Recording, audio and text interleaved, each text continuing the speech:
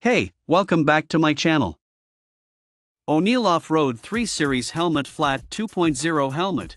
In 1970, Jim O'Neal began attending his races with some spare tires and parts to sell to local riders. Jim's first big product was Preston Petty fenders. Those fenders were hot. Off-road racing was just getting serious and everyone needed the better parts, apparel and accessories to compete. It was then that Jim O'Neal Distributing was born. Shell is constructed with durable polycarbonate, shell weight, 1500 grams, ultra plush removable washable padded liner keeps you cool and dry by wicking away sweat, adjustable visor design, intake and exhaust vents for ventilation and cooling, durable multicolored clear coated graphics and meets DOT EC 22-05 and ASNZS safety standards 1970, Jim O'Neal?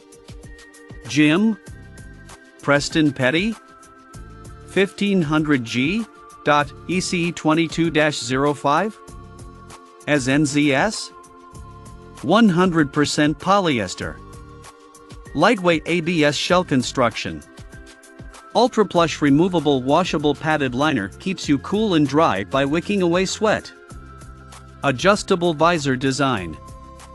Intake and exhaust vents for ventilation and cooling. Meets DOTIC ECE 22-05 and ASNZS safety standards. Fit type, universal fit. Check out the video description for updated price.